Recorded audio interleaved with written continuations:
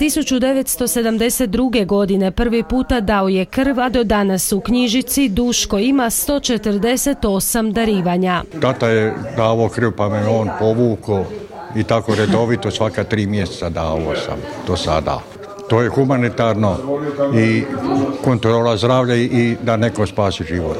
Ivan Gregorić iz Starih Perkovaca krv je dao točno stotinu puta. Zato što smatram da je to, da je to humano, da je to, ja, ja želim pomoći svakome i, i eto, ponukalo me zato što, što smatram da je to korisno, da je to dobro. U povodu svjetskog dana darivatelja krvi, a kao znak zahvale druženje više strukih darivatelja krvi organizirao je Gradski crveni križ. Želimo sigurno zahvaliti ovim ljudima. Smatramo da su sigurno ovi ljudi koji su danas ovdje ili oni koji nisu se mogli odazvati obzirom na neke svoje neke druge obaveze, eh, da su sigurno najzaslužniji jer su davno, davno utrli put i krenuli jednim putem humanosti, solidarnosti.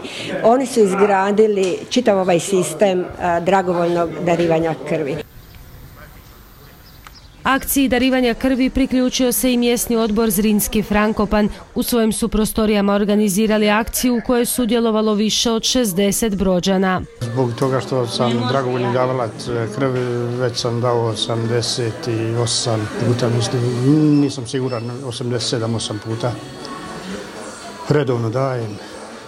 Jeste li kad razmišljali što zapravo e, znači darivanje krvi, što time činite? Pa mi imamo dobro srce, veliko srce koje nemamo šta razmišljati. Pa dajem krv toliko da spasravam ljudima živote i sve i kako su me pozvali iz bolnice da treba hitno dati krv netkome, došlo je vozilo ovaj, i on su došli, ja sam dao krv, uvijek se odazvo. Svjetski dan darivatelja krvi obilježava se 14. lipnja kako bi se u javnosti još jednom aktualizirala važnost dobrovoljnog, neplaćenog i redovitog darivanja krvi. Krv doista spašava milijune života, a oboljelima od teških stanja pomaže u produljenju očekivane životne dobi. U evidenciji Gradskog društva Crvenog križa čak su 22 darivatelja koja su krv dali više od stotinu puta.